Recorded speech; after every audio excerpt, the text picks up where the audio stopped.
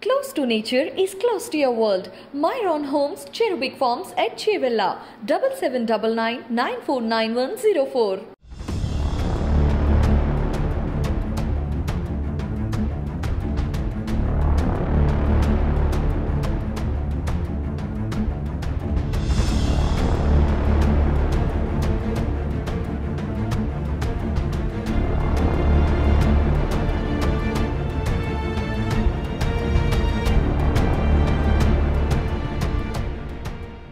ఆంధ్ర తెలంగాణ రాష్ట్రాల్లో భారీ వర్షాలు కురుస్తున్నాయి. ఈ వర్షం దెబ్బకు అతలాకుతలం అవుతున్న పరిస్థితి కనిపిస్తోంది. ముఖ్యంగా పశ్చిమ మధ్య బంగాళాఖాతం వాయువ్య బంగాళాఖాతం ఆనుకొని ఒక అల్పపీడన ప్రాంతం అనేది ఏర్పడింది. దీని ప్రభావంతో భారీ వర్షాలు కురుస్తున్నట్లుగా భారత వాతావరణ విభాగం చెప్తూ వస్తుంది. ఆ దీని ప్రభావం రానున్న మూడు రోజుల పాటు ఉంటుందని కూడా చెప్పింది. ఇరవై ఆరు నుంచి ఇరవై ఎనిమిది వరకు కూడా భారీ వర్షాలు కొనసాగే అవకాశాలు స్పష్టంగా కనిపిస్తున్నాయి. ఇది పశ్చిమ మధ్య బంగాళాఖాతం అంటే ముఖ్యంగా ఉత్తరాంధ్రకు చేరువైన ప్రాంతం కాబట్టి ఉత్తర కోస్తా అలాగే యానాం కర్ణాటక తెలంగాణ రాయలసీమ ప్రాంతాలతో పాటు అటు చెన్నై ప్రాంతాల్లో కూడా భారీ వర్షాలు కురిసే అవకాశం ఉంది.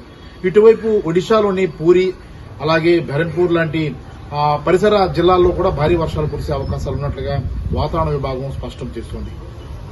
ఇప్పటి వరకు ఉన్న తీవ్రమైన అల్పపీడన ప్రాంతం అనేది మరింత బలపడి వాయుగుండంగా మారే అవకాశం ఉంది. అది ఈ రోజు ఏర్పడే అవకాశం ఉన్నట్లుగా నిపుణులు అంచనా వేస్తున్నారు. అది కనుక ఏర్పడితే తీరం వెంబడి గాలుల ఉధృతి కూడా పెరిగే అవకాశాలు స్పష్టంగా కనిపిస్తున్నాయి. గంటకు ముప్పై నుంచి నలభై కిలోమీటర్ల వేగంతో గాలులు వీచే అవకాశం ఉంది.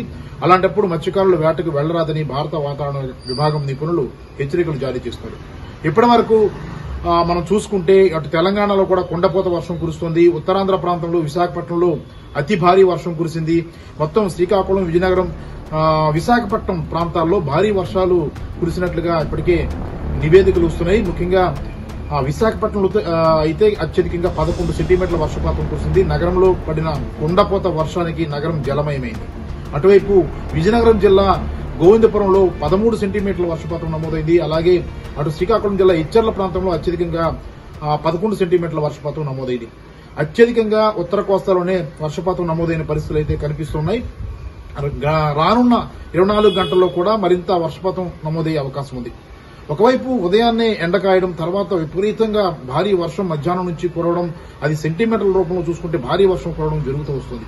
కాబట్టి ముందుగా హెచ్చరించిన మాదిరిగానే ఏదైతే ముఖ్యంగా ఇరవై ఆరు నుంచి ఇరవై ఎనిమిది వరకు భారీ వర్షాలు కురిసే అవకాశాలు స్పష్టంగా ఉత్తర కోస్తా అలాగే దక్షిణ కోస్తా అలాగే యానాం ప్రాంతంలో ఉంటాయి. అటు తెలంగాణ ప్రాంతం మీద కూడా ముఖ్యంగా మాన్సూన్ ట్రఫ్ అనేది ఒకటి ఏర్పడింది. అంటే ఋతుపవన ద్రోణి ఋతుపవన ద్రోణి కారణంగానే అటు తెలంగాణ ప్రాంతంలో కూడా వర్షాలు కురుస్తున్నాయి. ముఖ్యంగా తెలంగాణ ప్రాంతంతో పాటు రాయలసీమలో కూడా వర్షాలు కురుస్తున్నాయి. ఇవన్నీ కూడా ఇరవై ఎనిమిది వరకు కొనసాగుతాయి. కాబట్టి లోతట్టు ప్రాంతాల ప్రజలు అప్రమత్తంగా ఉండాలి. ముఖ్యంగా ఏదైతే కొండ ఏటవాళ్ళ ప్రాంతంలో ఉండేవాళ్ళు కానీ లేదంటే లోతుట్టు ప్రాంతానికి ఆ మాత్రం వర్షానికి జలమయమయ్యే హైదరాబాద్ లాంటి ప్రాంతాల్లో కూడా జాగ్రత్తగా ఉండాల్సిన పరిస్థితులు అయితే కనిపిస్తుంది